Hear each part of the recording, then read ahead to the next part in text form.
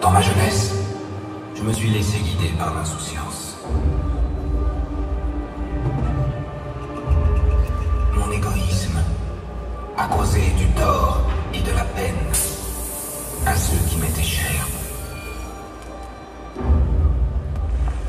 Mais la peur et le doute m'ont enseigné de précieuses leçons.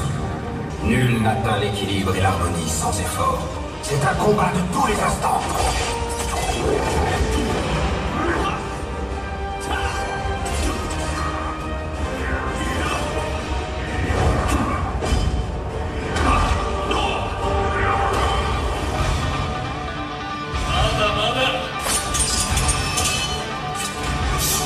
Je ne fléchirai pas.